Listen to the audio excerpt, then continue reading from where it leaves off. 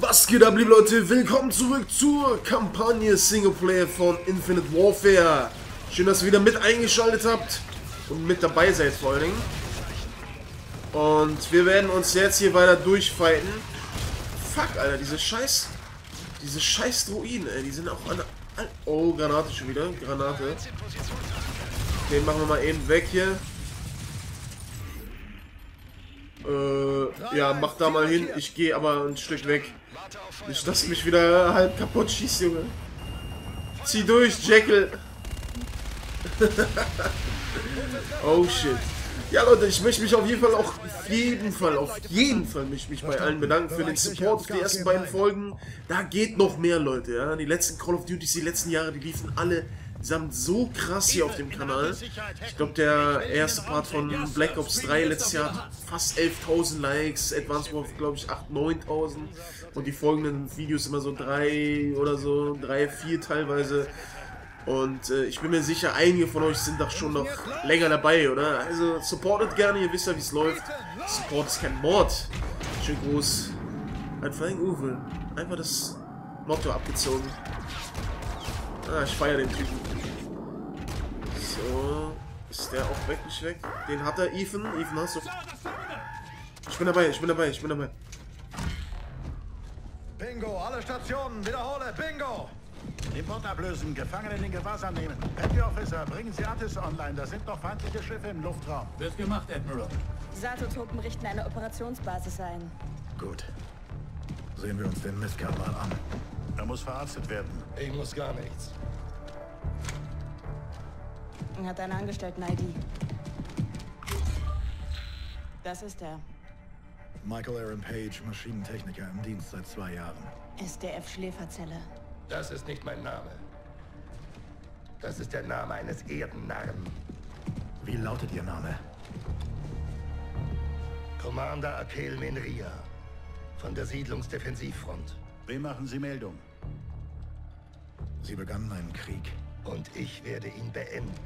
Artis-Geschütze erfassen jeden Moment feindliche Ziele, Admiral. Danke, Ethan. Gut gemacht. Sie zögern es nur hinaus. Raus mit ihm. Mars in Eterno. Standhalten, Marines! Gib mir fünf Minuten mit diesem Bastard. Salt, So viele unschuldige Reyes. dann lass uns für Sie kämpfen. Okay. Startbereit, Sir. Na los. Alle Stationen, hier Scar 1-1. Artis ist wieder unter unserer Kontrolle. Ich wiederhole, wir haben die Kontrolle über Artis. Die Front zieht sich zurück. Radar an Brücke. Lieutenant Salter und ich brauchen Vögel. Hi, Sir. 3-2 eskortiert Sie zu Ihrer Position. Bestätigt.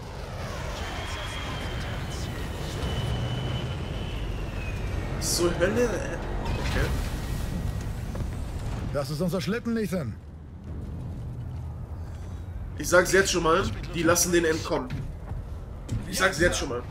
Der wird entkommen. Gib Schubfieber. Krass. Oh, äh? Autopilot aktiv, alles klar. Was geht jetzt ab? Ich weiß gar nicht.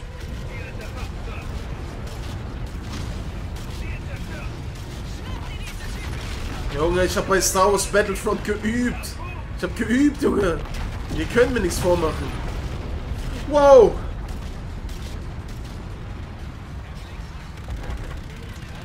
Was zur Hölle geht hier ab? Wie geil ist das denn jetzt mal ohne Sch Woo, shit. Ohne Scheiß jetzt. Also die Kampagne, wie gesagt, gefällt mir. Ich habe ja auch einige Kommentare von euch gelesen. Na klar sind da immer noch äh, einige abgefuckt und so. Äh, ist ja auch irgendwie äh, teilweise beliebt, Spiele zu haten. Und gerade das Infinite Warfare. Und ähm, das merkt man bei einigen, die einfach von Grund auf, so aus Prinzip, ich muss das jetzt haten. Merkt man einfach.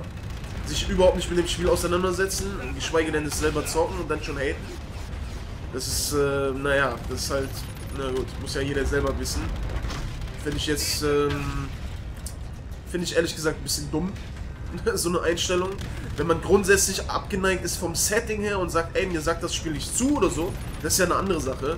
Das ist ja ist ja kein Problem, aber dann irgendwie ohne selber gespielt zu haben oder ohne selber irgendwie wirklich einen Plan zu haben, zu sagen, das ist scheiße für alle, ja, das ist wiederum so eine Einstellung, weiß ich nicht, das weiß ich nicht, ob, das, weiß nicht, keine Ahnung warum. Warum es da Leute gibt. Wie gesagt, man muss es nicht gut finden, man kann es ja gerne schlecht finden. Bin ja jetzt auch nicht hier der Sprecher von Activision oder so.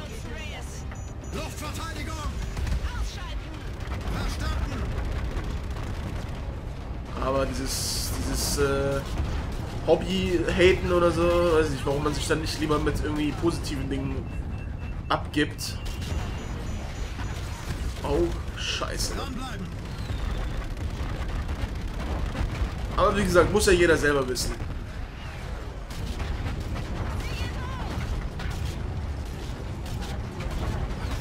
Oh, shit.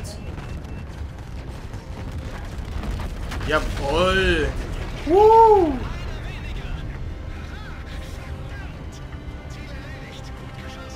Geschwader, hier ist K11. Zur Retribution zurückkehren. Es geht zurück zur Basis. Bestätigt. 3-4 zurück zur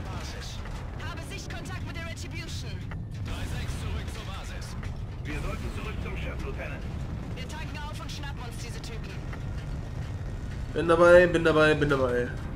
Mich wundert es auch ehrlich gesagt, so Call of Duty-like, dass man relativ viel selber steuern kann hier. So vom Fliegen her. Ah, ich habe hier ein paar anormale Gar nicht gedacht, ehrlich Ich gesagt. Hab's, ver hab's verkackt? Nein. Hier ist irgendwas kaputt gegangen.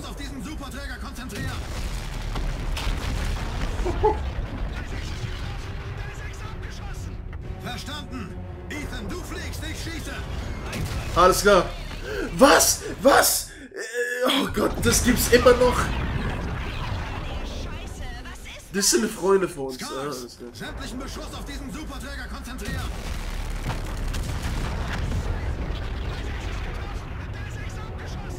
Verstanden. Ethan, du fliegst, ich schieße.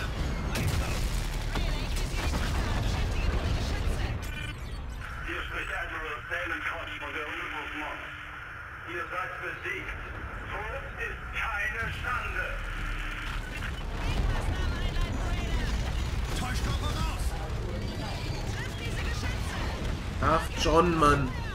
Was ist denn los mit dir, John? Was ist denn los hier? Ach du Scheiße. Huhuhu.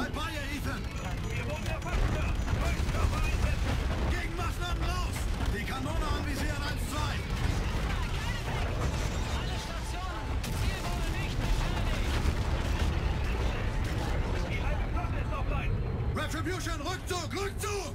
Retribution geht auf Abfahrkurs für taktische Kollision. Kollision nicht ausführen! Befehl des Captains 1-1. Ein Schlag steht bevor.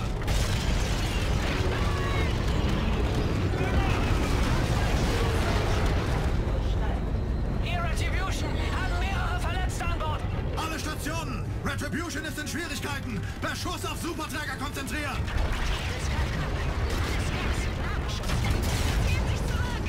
Dranbleiben! Sie sind gesprungen! Alle Stationen, Achtung! Feind hat sich zurückgezogen. Einsatzbereich sicher. Die Olympus hat die Flotte übel zugerichtet. Zurück zur Basis. Fliegt zur Retribution. Für uns rein. Verstanden. Retribution, Scar 1 erbittet Landeerlaubnis. Bestätigt. Landeerlaubnis erteilt. Landebahn 2 Lima. Verstanden, 2 Lima. Wir kommen rein. Charlie Delta bestätigt.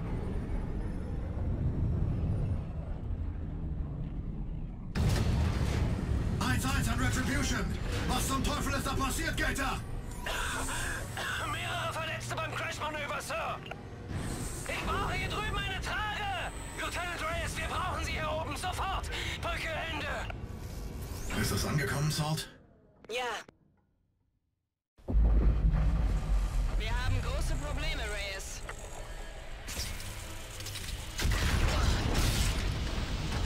Salt, alles okay? Positiv. Bei dir? Noch da. Ethan? Ausgezeichnet, Sir. Gibson, holen Sie uns hier raus. Versuch's eins, zwei, die Leinen sind gerissen. Okay, Sie haben wieder Luft, Lieutenants. Bestätigt.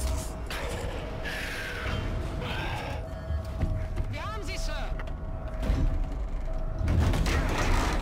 Verdammt gut, Sie zu sehen, Reyes. Klos, helfen Sie ihm! Der Jackal muss zur Wartung. Pronto. Ja, Ma'am. Haben eine Überdosis Ärger, Sir.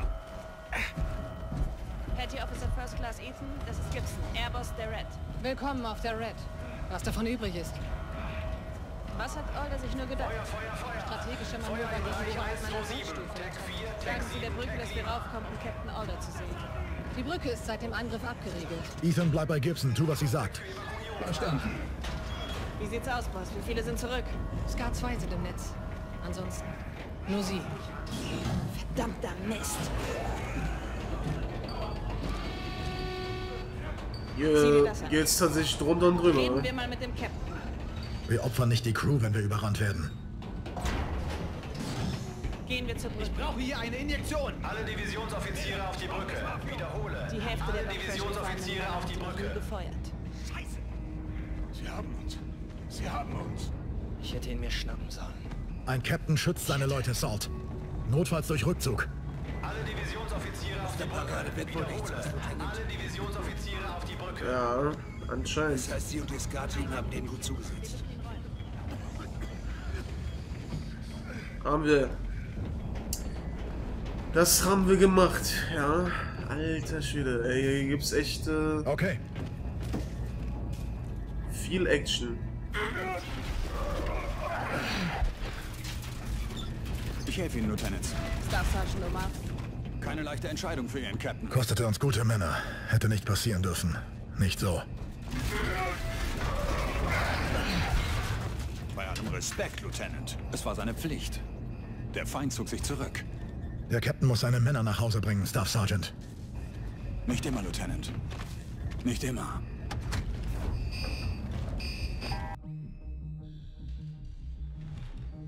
Die Marines voraus. Sie kommen mit uns und genießen die Aussicht. Treffen auf dem Tiefdeck N5, Staff Sergeant. Okay. Legen Sie los, Gator. Mondportal. Aye, Sir. Setze Kurs. Meldung, wenn bereit, Captain. Commander Reyes. Captain Alders Dienstbüro gehört nun Ihnen. Seine Dinge sind aber noch immer am Platz. Danke, Boats.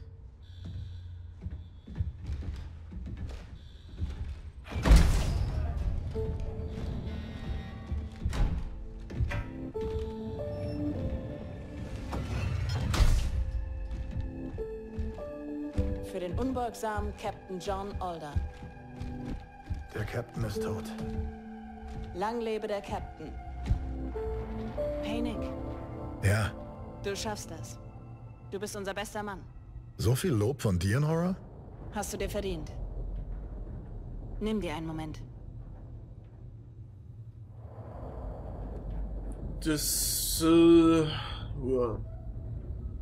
Das ging schnell jetzt. Von Genf bis zum Captain werden, Leute. Das äh, ist eine schnelle Laufbahn jetzt gewesen.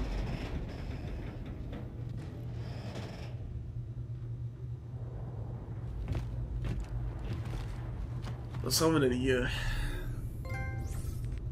Logbuch des Captains.